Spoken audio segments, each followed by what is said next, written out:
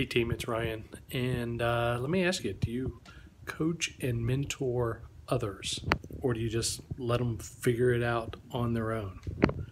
I had the pleasure tonight of spending uh, about two hours with a group of about six entrepreneurs where we got to discuss and learn about each other's businesses.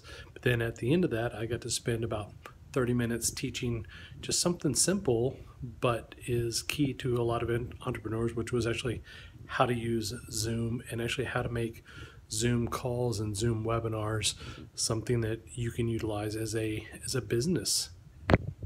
So even though they may not have been necessarily my clients, I got to coach and mentor other entrepreneurs. Something I do quite often, but in this situation, it was a time when I got to coach and and mentor them and teach them about something that they may even know a little bit about or may have just known nothing about or had any idea how they would use that and actually how to use it in a way that they actually can connect with other people. So what can you do to connect with other people, coach and mentor other people? It doesn't even have to be other veterinarians or people in the veterinary profession. You have the ability to coach and mentor others and actually help them be better at whatever it is that they want to do.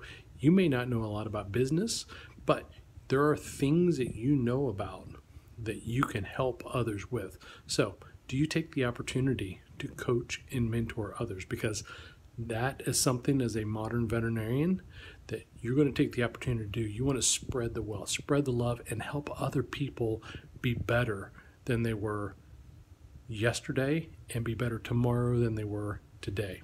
We want you to finish strong 2019. We want you to go into 2020 with a lot of momentum.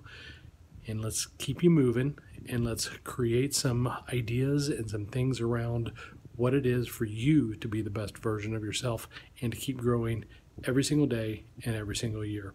This is Ryan. Finish strong. talk to you again real soon. Have a great one.